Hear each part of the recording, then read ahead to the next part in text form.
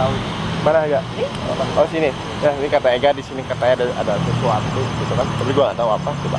Lu bisa jelasin nggak di sini ah, apa menurut? Kalau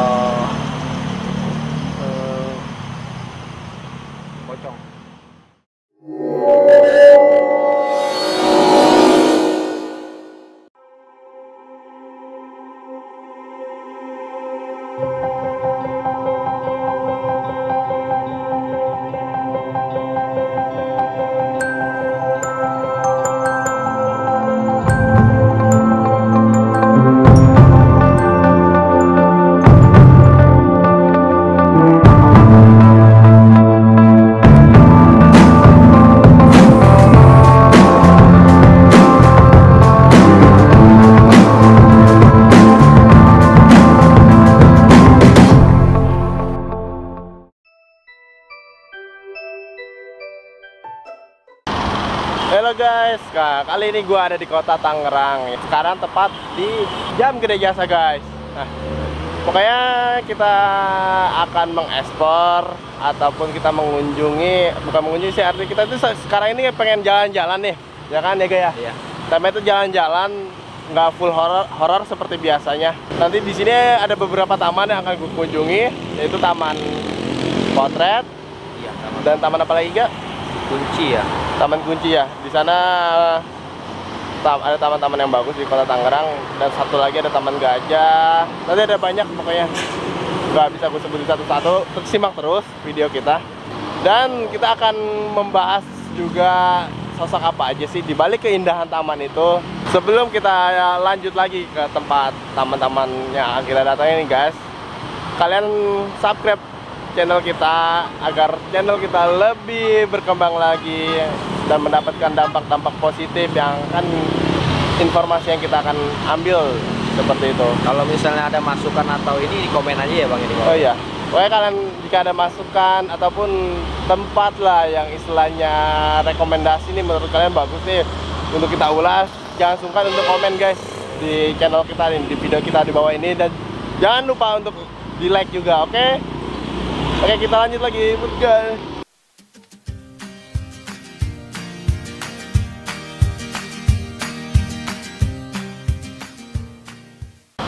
Halo guys, malam ini gua dan temen gue Ega dan kita sedang jalan-jalan ceritanya di taman di kota Tangerang. Nah, tepatnya sekarang gua ada di taman Kunci. Nah, taman kunci kalian bisa lihat sambil kita menikmati taman yang ada di sini. Oke, kita mulai dari mana nih, Kak? Kita dalam aja langsung lah.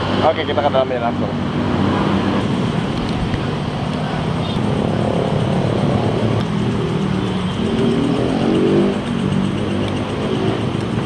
Oh nggak dikunci. Hah? Nggak dikunci? Iya. Cuma dijaga doang. Oh, kita beruntung banget nih. Ternyata nggak dikunci tamannya. Coba kita masuk aja. yuk. Ayo kita masuk, kita masuk, kita masuk. Ah, sorry, sorry. Ah. Sekarang udah dalam tangkar nih. Nah, kita sekarang udah di dalam sangkar eh, kandang kupu-kupu ya.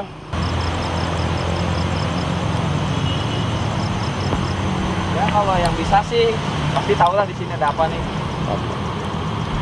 Ini depan ini pasti tahu. Mana Ega? Oh sini. Ya, ini kata Ega di sini katanya ada ada sesuatu gitu kan. Tapi gua nggak tahu apa. Coba. Lu bisa jelasin nggak di sini ah, apa menurut? Kalau eh, pocong. Dep- Depan saya ini pocong lagi berdiri. Jadi dia nggak mau kalau bisa nggak mau menampakkan diri juga dia melihat suasana lampu ini terang. Jadi dia nggak ada kesan gimana gitu kalau kayak gitu kan dia mau muncul sesuatu yang tiba-tiba dia mau bread aja tapi dia ini mah nggak mau soalnya cahaya lampu juga berpengaruh buat dia sih Oh jadi jadi katanya di sini ada sosok ya pocong ya kata kata Ega. Karena ini di kalian lihat nih pas banget nih. Ah cahaya nih. Jadi, jadi si sosok, sosok ini tuh ya cuma bisa mengamati aja. Iya. Nggak untuk nggak bisa untuk berinteraksi karena memang dia nggak suka cahaya ya. ya soalnya di sini juga kita niatnya cuma buat berkomunikasi aja lah sama yang ada di atas Tapi enggak, gue pengen tahu nih. um, si sosok ini sebenarnya mengganggu nggak atau cuman hanya menempati aja? Oh enggak, kalau dia di sini cuman menempati di aja. Karena ini dia dibangun suasana taman, bukan perumahan. Kalau misalnya dia dibangun perumahan dia bisa mengganggu kok. Soalnya dia aktivitasnya itu berapa namanya berterbangan di sini. Jadi ibarat jalanan ini juga banyak orang yang masa bodoh lewat, nggak tahu menahu apa ya. kan. Di sini ya cuman tempat dia diem di depan Tangerang kita itu kita Tangerang itu sebenarnya juga sama. Nih ada nih tuh. Kita Tangerang itu pohon tuh banyak yang gede-gede tuh ya. Itu yang saya lihat tuh eh, ada yang lagi duduk ngeliatin saya juga. Tapi saya halo-haloin aja lah. Habis kalau dibawa serius ya kita kayak gimana ya takutnya yang kayak yang udah-udah saya terus yang ke pasukan jadi saya bawa selalu aja. Jadi depan itu juga sama tuh yang kita Tangerang itu juga sama ada. Bisnisnya tuh Oh iya, nah, kalian Oh, bisa lihat guys, iya. itu ada bacaan icon Tang- Tangerang di sana. Iya, kita Tangerang ya kan. Itu sama. Jadi di sini ada tiga jenis, empat ya. Eh, pocong, kuntilanak, tuyul sama gandaruo yang ada di kita Tangerang itu. Jadi kalau banyak yang mobil peliharaan kayak gini ya gimana ya orangnya masa bodoh sih tapi yang kalau yang tahu sih benar-benar wah ya kan. jadi gimana Di dalam sini itu berup- berupa sosok pocong ya. Ya nggak mengganggu sih dia, cuman hanya menempati aja. Jadi ya di balik keindahan ternyata kita didampingi di ya berdampingan lah dengan mereka seperti itu guys. Nah, tapi cuman ada dia aja di sini. ada ada sih ada dia doang sama kok yang nanti kita ke taman potret itu masih satu. Kita kan nanti masih ada beberapa tujuan lagi kan? Iya. ya jadi kita nanti ke taman potret ya terus ke Gajah Tunggal Makanya kalian saksikan terus nih, simak terus video kita, jalan-jalan kita. Malam ini akan kita akan ya jalan-jalan sambil mengulas sesuatu yang tak terlihat itu. ya benar. Oke, yuk kita lanjut lagi. sian lo ikan Nah, guys, nah, kali ini kita sudah tepat di depan kandang kelincinya. Kalian bisa lihat di sini. Nah, seperti ini. Menurut lu lah feeling lu itu seperti apa di di sini? Dari segi panoramanya lah. oh nyari panoramanya gitu ya Iya. yang saya lihat kita taman kelinci ini sih ya, tuyul tuh di situ tuh Di mana orang tuh, tuh, tuh, tuh yang tempat apa bekas kandang kelinci kandang kelinci yang bolong itu loh Nah, kalian bisa lihat guys. Nah, di sini. Di sini guys yang gue lihat ya dari kondisi taman taman kelincinya ini. Nah, kalian bisa lihat kalau malam kayak ini dikandangin ya kelinci kelincinya mungkin ya takut ada yang ngambil mungkin ya dari aman. Tapi di sini nggak ada kelinci, ada bukan kelinci aja, ada burung. Oh ya kalian bisa lihat itu. Ada ikan juga tuh. Nah itu ada ada ikannya guys. Cuman ya emang sih kalian bisa lihat tuh.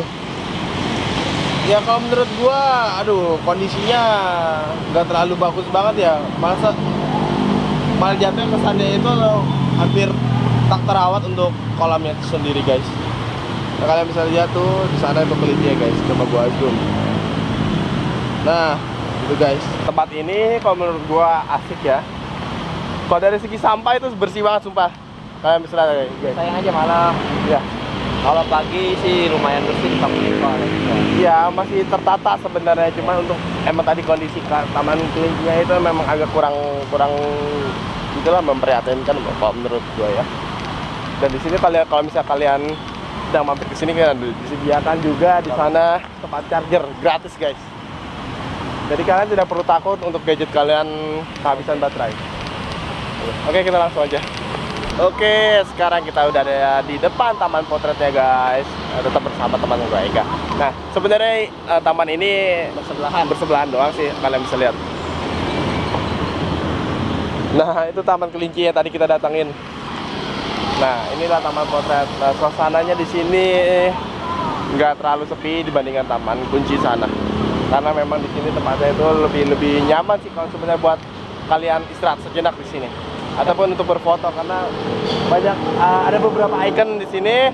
Kita langsung ke dalam aja yuk. Gimana gak menurut gak tempatnya di sini? Di sini lumayan bagus loh tempatnya. Jadi di sini nggak dari ibarat dari usia dini sampai tua juga bisa di sini semua. Ada taman buat anak-anak. Jadi di sini orang tua jadi bisa ngontrol anak-anak sedang bermain. Udah dikasih fasilitas buat anak-anak. Gak usah jauh-jauh lah kita apa liburan di Kota Tangerang juga sebenarnya udah banyak fasilitas dikasih sama pemerintah. Tinggal kitanya aja yang ngejaga gimana. Fasilitas pemerintah itu sebenarnya buat masyarakat. Jadi masyarakat tinggal menjaga aja gimana.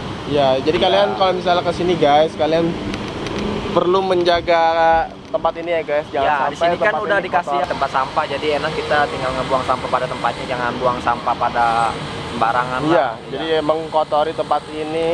Ya kan kalau misalnya kalian memang kebetulan lagi nggak ada tempat sampah nih, seperti di sini bukan nggak ada sih sebenarnya, Banyak. karena ada poin-poin tertentu ya tempat sampahnya. Nah, kalian bisa mengantongi dulu sampah kalian sampai ketemu tempat sampah itu.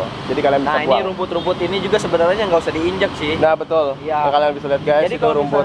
ini apa nggak diinjak nih bagus nih. Lihat contohnya ini diinjak-injak nih. Jadi kalian jelek. bisa lihat ya. Nih ini nih karena karena orang-orang Diinjak. Sebenarnya pemerintah udah ngasih fasilitas yang bagus, masyarakatnya tidak mau merawat baik. Iya betul, karena rasa kepedulian kita itu masih kurang ya yang datang ke sini.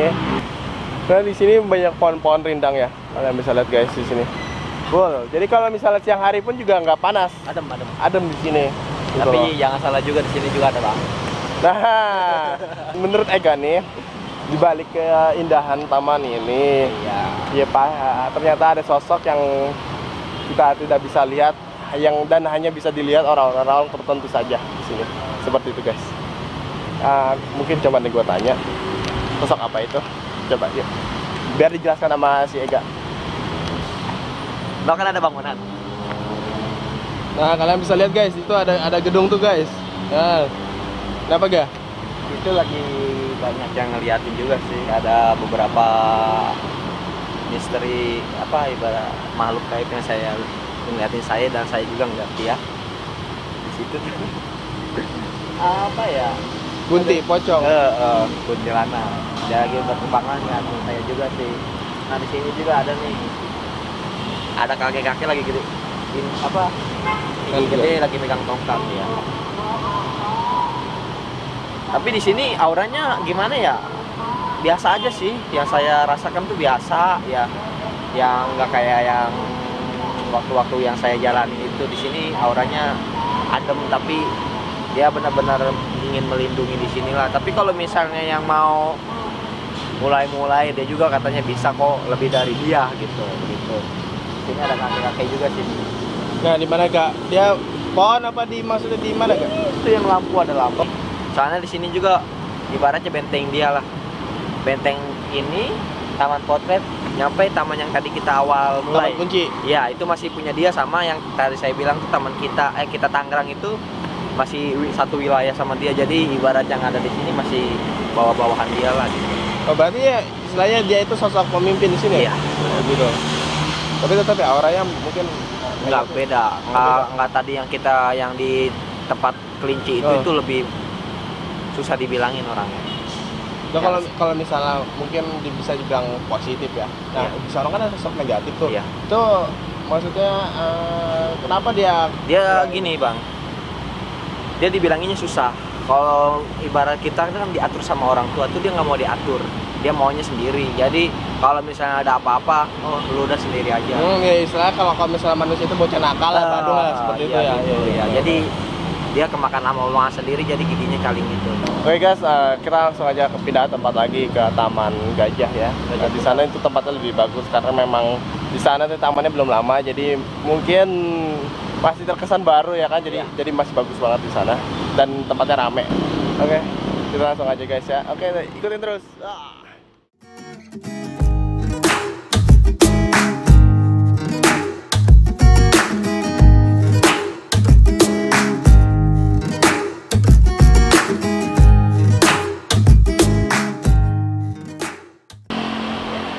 Set. Nah, kita sudah ada di lokasi Gajah Taman Tunggal. Gajah Tunggal. Nah, kalian bisa lihat di belakang kita ini Di belakang. Nah, nama Gajah Tunggal. Sekarang kondisinya sudah jam 11.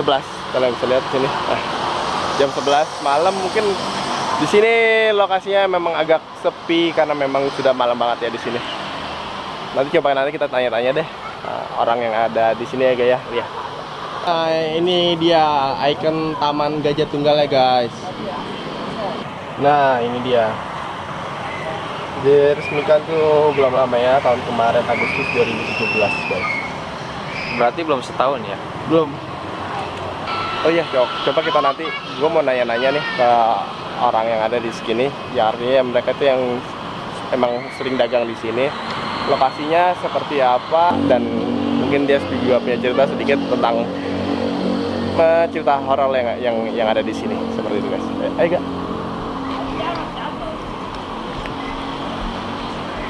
Bang boleh nanya-nanya nggak bang? Dan tadi saya nanya nih sama bang. Ya. Perkenalkan nama saya Ega. Nama bang siapa? Anton Anton. Udah berapa lama bang dagang di sini bang? ini udah hampir 2 tahun Dua tahun. Tapi berdirinya ini kan baru belum ada setahun ya. Iya. Pasti kan, Agustus iya kemarin. pasti abang tahu lah yang ada di dalam ini. Iya. Yang kan tadi yang saya mau tanyakan nih ada apa aja di dalam ini bang? Namanya kan pasti kalau di bangunan kayak gini pastilah ada yang namanya bisnis-bisnis kayak gitu ya bang. Yang abang tahu lah kayak gimana gitu. yang pastinya di sini ada kayak sejenis ular gitu Ya. kalau orang lagi pusing apalagi ngelamun eh Keseng, keseng. Tapi itu kalau kemasukan itu nggak nentu atau gimana bang? Kan kalau misalnya mau kemasukan yang paling serem itu kayak malam Jumat atau gimana? nggak nggak nentu nggak nentu harinya Oh gitu ya. yang di sini ya pastinya dia nggak bisa ngelamun Oh nggak usah Nah, banyak ngomong ya. ya kalau dia kebanyakan ngelamun pasti dia kena Oh, gitu. Nah jadi dapat info dari abang Anton ya. Anton. Iya jadi di sini ada mistis ular jadi di sini kita nggak boleh ngelamun lah ya bang ya. Iya, Iya. ngelamun. kalau misalnya kita ngelamun pasti ada yang Pasti kesurupan, gitu kesurupan bang. gitu. Iya. buktinya nggak sekitar dua bulan yang lewat adalah Sudah salah ada satu ya. cewek silakan Oh, jadi masih suka emang ada kejadian seperti itu ya Bang? masih makanya saya mau telusurin ke dalam nanti bang ya makasih bang ya atas infonya ya Kalau mau itu lagi ada satu lagi di musola. Musola kan ada pohon tinggi itu. oh yang di musola sebelah Iya. sana ya Tuh, Oh, di sana ya. itu kayak jalanak lah. ya makasih ya bang ya atas Oke. infonya ya Iya. Ya, maaf, makasih Iya. ya. Menurut lu gimana gak? ini udah aura yang saya rasakan tuh sangat berbeda sekali ya udah ya soalnya di sini juga auranya gimana ya ada lah mistisnya tapi nggak terlalu pekap yang sama di pinggir kali yang belakang itu cuman di sini yang ada saya lihat sih sosok Apa tuh gak? kuntil Oh, kunti. Nah, katanya di sini katanya gitu ada sosok kuntilanak ya guys. Ah, di mana posisinya dia? pohon Pohon mana? Oh, kalian bisa lihat guys. Nah, oh, dia tepat di yang ini nih yang gua sorot ini ada se- sebuah sosok ya perempuan di sini. Nah, coba kita tanya lagi. Tapi apa? Sosok ini mengganggu nggak sih kak? ya sebenarnya sih mengganggu tapi orang lain nggak pada ngeroin atau nggak pada merespon Nah, ini tuh mengganggu itu seperti apa? ya kalau orang yang tahu sih dia mengganggunya tuh sekilas cuma ngelewatin doang gitu. Oke guys, gua akan coba bertanya-tanya nih orang yang yang datang ke sini. Kayak ikutin terus pakai video kita. Nah. Oke. Halo, guys, agak kenalin eh, Dwi. Dwi, nih, wah ini ah, gua kan lagi bikin vlog nih ya. Nah ini gue pengen tanya-tanya nih tentang tempat ini aja. Menurut kalian itu seperti apa? Ya kan, Nah, mungkin ada saran atau masukan lah. Artinya seperti itu. aduh Ya, oh, aku cuma nanya ya sekedar. bingung juga nih ya Ya, artinya gini. baru perdana ke sini juga Oh gitu. iya Oh, iya. pas banget itu perdana Iya. dari mana bang Saya dari BSD. Oh, itu lumayan ya. Iya, dari BSD. Berjam segini bang BSD lu bang. Iya. Pak Mas Joko nih datang ke sini uh, sama pacarnya ya? Pacar atau temen lah ya kan? Nah Iya. mungkin datang ke sini ada hal yang menarik dari tempat ini atau apalah menurut pandangan dari Mas kalau hal yang menarik di sini sih adem ya. Maksudnya sejuk lah gitu. Hmm. jadi tenang lah buat eh, buat santai ya Iya, buat relax, ngajak iya relax kan? ngajak ngajak apa namanya atau pasangan ya Iya, seperti betul. itulah Ini juga kebenaran lagi ngidam kali oh gitu oh, istri ya Apa? mendadak gitu. Nah, di sini kan eh, di balik keindahan ini nih, ya kan tempat ini. Menurut Mas, di sini ada nggak sih eh, kita itu kan pasti berdampingan ya kan sama sosok yang tak terlihat itu. Nah, menurut kalau menurut Masnya sendiri ada nggak sih di sini? pasti ada Nah, eh, karena kan kita di sini memang temanya itu jalan-jalan, tapi tidak jauh dari berbau horor, mistis seperti itu, Iya. gitu loh. Karena emang kalau misalnya channel-channel kita nih ya kan, video-video kita sebelumnya emang full horor sebenarnya. Cuman ini kita bikin konsep yang baru, artinya jalan-jalan santai, cuman kita sedikit mengulas tentang ya hal seperti itu, mistis seperti itu. Nah, mungkin uh, bisa dijelaskan sama Ega nih Ga. Gimana Ga? yang yang mas rasakan di sini gimana mas suasananya suasana sih adem ya cuman kalau untuk apa bisnis sih ya emang nggak bisa lihat jadinya nggak tahu kalau tempat sih pasti ada lah nggak mungkin nggak ada cuman nggak tahu di mananya gitu tadi sih saya sebelum masuk kemarin sih saya sempat bertanya-tanya ya iya. sama yang dagang kopi itu ya.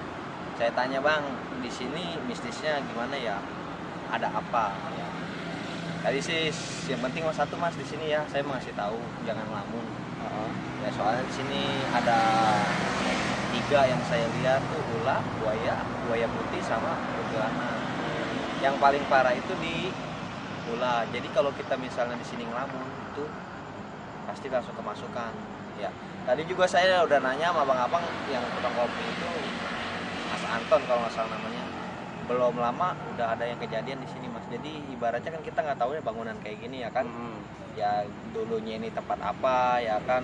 Bekas apa kan kita nggak tahu ya kan? Berarti yang namanya taman kayak gini adalah jangan kan di taman kayak gini di rumah kita juga masih ada yang kayak gitu ya Iya. Jadi seperti itu sih. sosoknya di mana tuh kira-kira Eh boleh nggak dijelaskan? Emang sih memang ada sosok di sini, cuman emang si sosok tersebut sih emang nggak mengganggu, cuman dia emang menghuni tempat ini seperti itu. Yang Eh, saya lihat sih satu kalau buaya sih sama ular itu di kali mas di kali ya Iya, yang kedua tuh kan ada musola. Di musola situ kan ada pohonan tinggi. Ya, di situ satu sama di sini juga. ini ya Iya, ya, ya sebenarnya sih dari tadi juga sosok itu memperhatikan kita. oh, Cuman emang ya cuma ya, sekedar memperhatikan aja. Kita ngeganggu, cuma kita Iya. mah cuma ini aja lah. Ya, Iya. ya artinya pokoknya ya si mbaknya juga datang ke sini ya jangan sampai dalam kondisi mungkin kurang sehat terus bengong, hati-hati seperti itu. Seperti itu sih. Ya ini uh, pokoknya kalau misalnya mau Mas mau nonton nih video kita, namanya channel kita itu Raf to Ref, artinya uh, namanya Raf 2 Rap. Yes. Iya. Mungkin atau Mbaknya nih ada ada apa namanya? uh, eh, masukan atau ada pandangan sendiri gitu. Iya, yang idam tadi mau ke sini dia mendadak tiba-tiba mau ke sini aja gitu. Oh gitu. ada sesuatu. Seperti itu. Oke. Oke deh, makasih Mas ya. Oke, Sore nih siap. ganggu nih. Iya. Kasih Mbak ya. Eh, bisa dilanjutkan kembali. Oke, seperti itu. Tadi kita sudah bertanya ke salah satu pengunjung yang ada di sini guys ya. Ya menurut ini tempatnya ya memang bagus gitu kan dan dan ternyata dia juga berpikiran sama lah seperti kita gitu kan. Artinya di balik keindahan tempat ini pasti ada sesuatu lah. Dan dia mempercayai itu. Oke, kita lanjut aja guys tempat-tempatnya. Ya di sini udah di tengah-tengah ya sekarang ya di tempat. tempat. Jadi yang saya di sebelah kanan ini ada sungai ini. Nah kalian lihat bisa lihat guys di sini pas banget ini uh, sungai Cisadane guys. ya ya yang saya lihat sih ada sosok buaya lah sebelah sini yang sebelum diulas sama Kang Anton yang awal yang saya tadi bicarakan itu benar-benar emang ada Nah, jadi makin kemarin tuh penarikan saya semakin kencang yang dibilang Kang Anton itu yang paling utama itu di dekat musola yang ada pohon besarnya Oke. Ya. Nah ini nih, si Ega sudah melihat kalian. Nih, ini dia nih yang saya lihat dari tadi Oke ada Nah, nih kalian bisa lihat guys, nih kalinya guys. Coba gue terangin guys. Oh. Kalinya lumayan besar. Nah, kita coba tanya ke si Ega. sini juga nih Maya nih saya tarikannya nih kagak mau saya sebenarnya ini udah mau ngajakin interaksi tapi saya tahan-tahan jadi apa auranya tuh lumayan kencang sih. Nah yang dekat musola itu tuh udah kelihatan pohonnya tuh di depan saya di depan saya. Yang dibilang Kang Anton awal itu bener tuh dia lagi ada di atas. Kuntilanak yang kalau menurut saya sih nggak usah diambil dari deket ya karena dia nggak suka katanya dia bilang gitu. Gak suka? Iya mendingan kita ngambil view dari sini aja sih seperti itu. yang di depan gitu Yang oh yang eh, pohon besar tuh Ah. kalian bisa lihat guys. Pokoknya paling ujung yang pohon besar itu itulah lokasinya betul kan nggak? iya benar Iya. bisa dideketin tuh saya ini takutnya interaksi ke saya jadi kayak semacam feedback lah. iya jadi ntar nggak ada yang bisa nginiin repot juga ya kan Iya, iya. Tapi kita juga menjaga lah. Di sini kita itu bukan untuk eh, mencari eh, apa namanya ya hal-hal yang nggak diinginkan sih ya. Di sini kita untuk eh, berjalan-jalan artinya gitu kan. Di sini untuk untuk seka- sekalian juga apa aja sih ya, yang kita yang ada di sini itu loh. Karena kan di balik keindahan pasti juga ada ya sesuatu yang terlihat artinya seperti itu. Namun kita bukan untuk mencari tahu lebih dalam. Oke guys, baik. Kalau misalnya kalau mau ke arah tanah gocap nih ini sebagai ikon jembatannya nih ke sini nih. Cakep banget guys. Kalian bisa lihat ya. Ya, ini dia kita kembali lagi ke Ega. Ega, ini kita kali kan udah Bentar, sebentar lightingnya gue nyalakan dulu.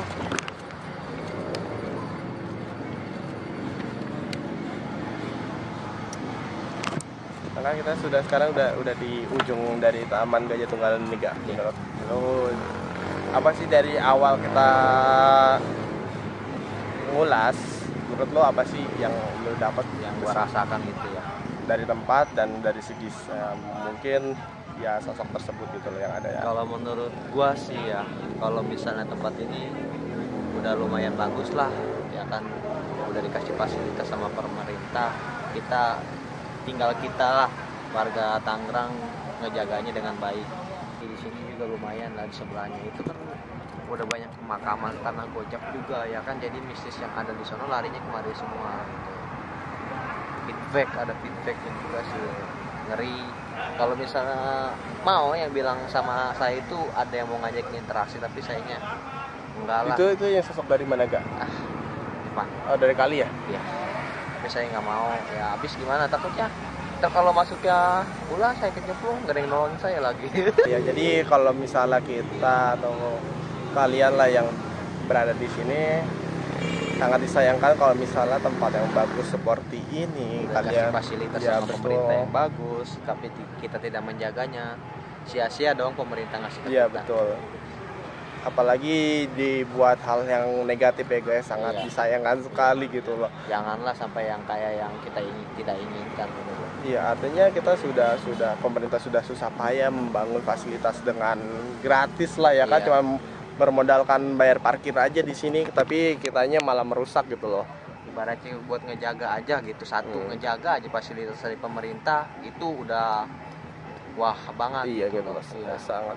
Ya kita harus mendukung lah pembangunan dari pemerintah gitu kan, artinya kita sudah disediakan. Jadi bagaimana bagaimana caranya kita untuk menjaga? Atau bisa lebih bagus lagi kita malah membuat lebih bagus lah ya kayak artinya gitu loh. Oke mungkin itu aja vlog kita malam ini. Ya tadi kita sudah uh, beberapa tempat ya kan di taman yang ada di kota Tangerang. Walaupun masih banyak lagi di taman yang ada di kota Tangerang nanti mungkin next akan gue telusuri taman-taman tersebut nah, karena waktunya memang sudah malam sekali jadi yang next lah gitu oke jangan lupa subscribe dan like dan komen channel kita Kalau misalnya ada pasukan kasih masukan di Iya bawah. betul sekali. Oke, sampai jumpa di vlog kita next. Oke bye.